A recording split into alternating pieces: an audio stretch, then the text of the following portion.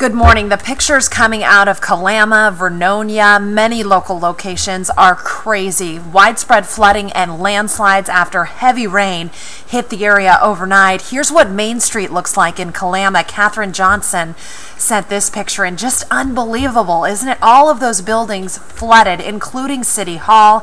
Here's another picture. Absolutely major flooding there. School has been canceled for the day.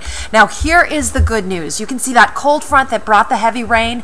It's moved off to the east. In its wake, we're dealing with on and off showers throughout the day today, but a flood watch continues up and down the I 5 corridor.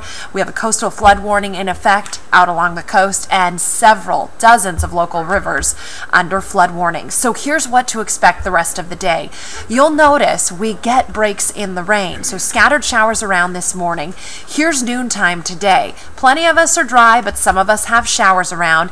By this evening, we're mainly dry. But then guess what? We get another shot of rain and wind that arrives after midnight tonight. So we'll be tracking that closely in the Weather Center, also updating conditions across the region. We'll bring you another update in another hour or so. See you then.